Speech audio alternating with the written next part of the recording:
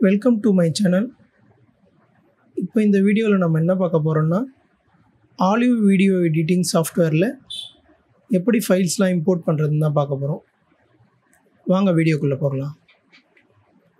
Olive video editing சாஃப்ட்வேரை open பண்ணிக்கோங்க. Project பேனலில் ரைட் கிளிக் பண்ணுங்கள் இம்போர்ட் இம்போர்ட் பண்ணி உங்களோட ப்ராஜெக்ட் ஃபைல்ஸை எங்கே சேவ் பண்ணி வச்சுருக்கீங்களோ அந்த ஃபோல்டரில் போயிட்டு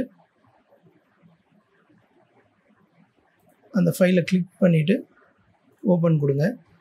சிங்கிள் ஃபைல் தான் இந்த மாதிரி இம்போர்ட் பண்ணணும்னு அவசியம் இல்லை. இம்போர்ட்டில் போயிட்டு நீங்கள் மல்டிபிள் ஃபைல் வச்சுருந்தாலும் இப்படி ட்ராக் பண்ணி ஓப்பன் கொடுத்தீங்கன்னா ஒன் டைமில் எல்லாமே இம்போர்ட் ஆகிடும்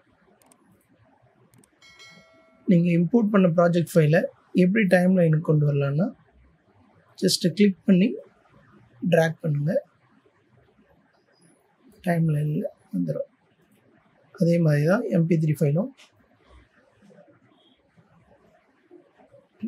ட்ராக் இமேஜ் ஃபைலாக இருந்தாலும் click and drag thank you for வாட்சிங் திஸ் வீடியோ நம்ம சேனலுக்கு இப்போ தான் நீங்கள் ஃபஸ்ட் டைம் விசிட் பண்ணுறீங்கன்னா மறக்காமல் சப்ஸ்கிரைப் பண்ணிக்கங்க.